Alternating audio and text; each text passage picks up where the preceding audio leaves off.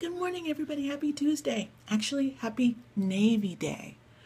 Yep, it's National Navy Day. So, again, to those that served in the military, especially in the Navy, thank you beyond thank you beyond thank you.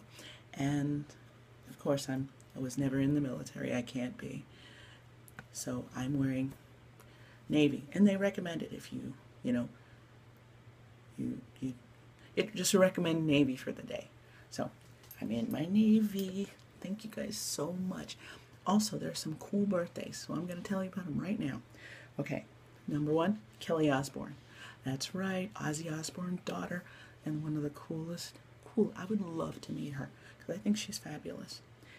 John Cleese, Monty Python.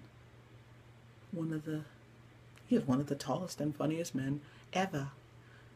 And now this might sound a little I mean, not weird or anything. You may not know who she is. Jayne Kennedy. Now, she is like one of the first black sex symbols she, and of like the 70s and the 80s.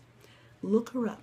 She's still, she's in the director now, I believe, but she is gorgeous. So, happy birthday to all those people happy Navy Day and have a great, great day. I was busy all weekend and all yesterday I had choir rehearsal, I had choir performance. Well, actually, I didn't have a choir performance, it was just a busy day. So I'm back, everything's normal. Gotta go get my walk on and again, have a great day and happy Navy Day. Bye.